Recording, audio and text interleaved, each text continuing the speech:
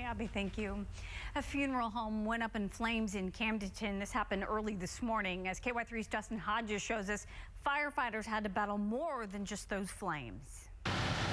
We built this funeral home here in 2000. When Hedges Scott funeral home owner Tim Scott got a call from the Camden County Sheriff's Office early Sunday morning, it was already too late for fire crews to save the building. We came in, we seen smoke first coming out of the front of the building, and then following that, then it just engulfed into flames after that pretty quick.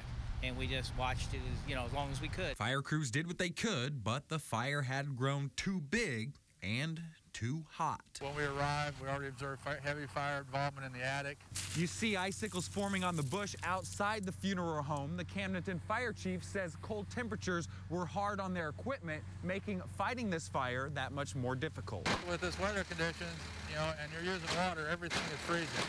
So we've had numerous trucks freeze up. Uh, we're trying to get them back to the stations to get them thawed out.